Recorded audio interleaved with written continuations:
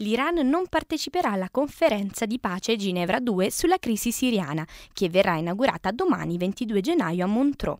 A ritirare l'invito è lo stesso segretario generale dell'ONU Ban Ki-moon, che fino a ieri aveva invece tentato il coinvolgimento di Teheran.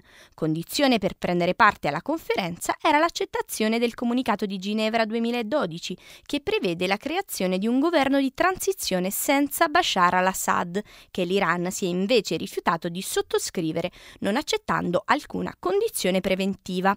Eravamo pronti a partecipare alla conferenza di Ginevra 2 e a giocare il nostro ruolo, ma non accettiamo condizioni, ha dichiarato la diplomazia iraniana riferendosi all'accettazione del comunicato di Ginevra. Il ministro degli esteri russo Lavrov ha definito uno sbaglio, ma non una catastrofe, la mancata partecipazione dell'Iran.